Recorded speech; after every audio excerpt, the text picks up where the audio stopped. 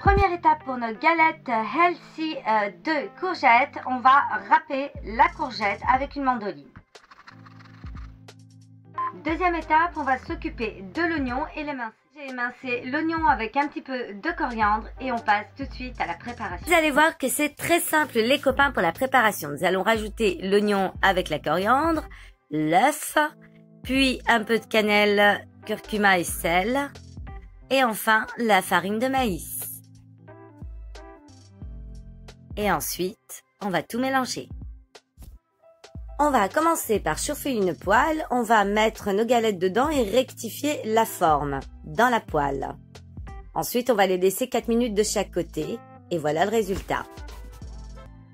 Ensuite, dans la même poêle, on va juste essuyer le surplus d'huile et remettre nos galettes. Puis mettre le cheddar bien au centre, bien au milieu et la recouvrir d'une autre galette de courgettes. Et voilà le résultat après euh, la sortie de la poêle.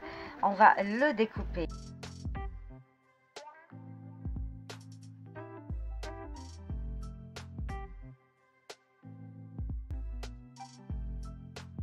Et voilà, donc euh, moi ici, ça va être ça pour le déjeuner, poulet fumé, frites au four et mes petites galettes que vous pouvez accompagner avec, avec plein de choses.